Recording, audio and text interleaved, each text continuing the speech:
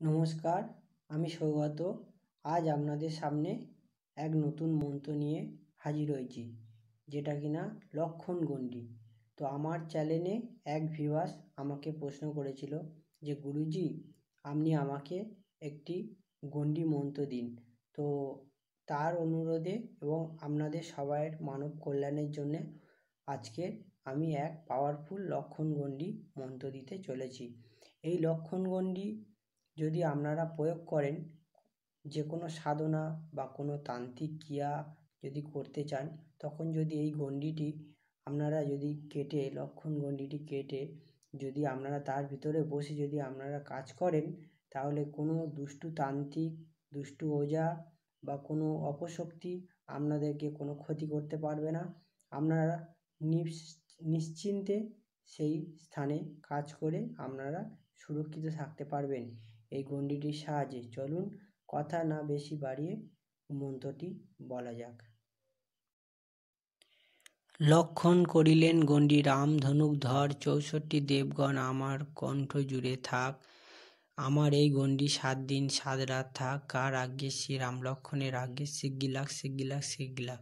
আপনাদের সুবিধার ক্ষেত্রে আর একবার বলে দিচ্ছি। লক্ষণ করিলেন গণ্ডি রাম ধনুক ধর চৌষট্টি দেবগণ আমার কণ্ঠ জুড়ে থাক।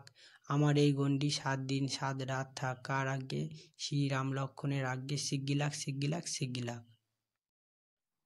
এই লক্ষণ গণ্ডির নিয়ম হচ্ছে, আপনারা যখন কোনো তন্ত্রক্রিয়া করবেন বা কোনো সাধনা করবেন, যাতে আপনাদেরকে কোনো অপশক্তি বা অপতান্ত্রিক বা দুষ্টুতান্ত্রিক আপনারা যাই বলেন না কেন দুষ্টুতান্ত্রিক বা দুষ্টু ওঝা বা কোনো অপশক্তি যাতে আপনাদেরকে কোনো ক্ষতি করতে না পারে, তো এই গণ্ডিটার ভিতরে আপনারা বসে আপনারা নিশ্চিন্তে কাজ করতে পারবেন।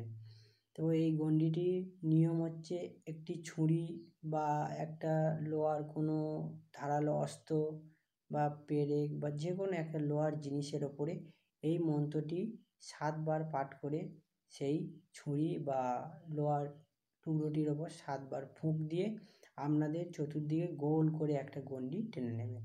নিয়ে সেই গণ্ডির ভিতরে আপনারা বসবেন, বসে আপনাদের মতন আপনারা যে কোনো তন্ত্রক্রিয়া করবেন, আপনাদের কোনো ক্ষতি হবে না। কোনো দুষ্টুতান্ত্রিক কোনো ওঝা বা কোনো অপশক্তি আপনাদেরকে কোনো ক্ষতি করতে পারবে না।